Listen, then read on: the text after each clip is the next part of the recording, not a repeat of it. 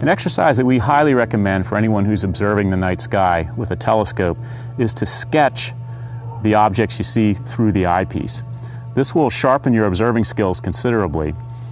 To sketch, all you need in the way of materials are a red light emitting flashlight, so you can see what you're doing, a soft lead number two pencil, and either a blank piece of paper or, as I've created here on computer, a template that has a field of view and an area down below for notes for such things as the telescope you're using, what magnification, the date, the location, and the sky conditions.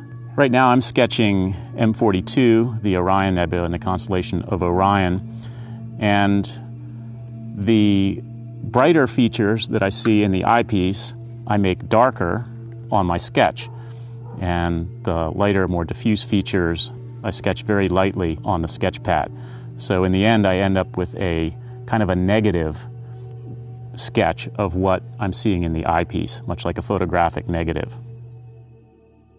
I like to draw the brightest features or objects in the field first. So I'll start by drawing the positions of the bright stars in the field.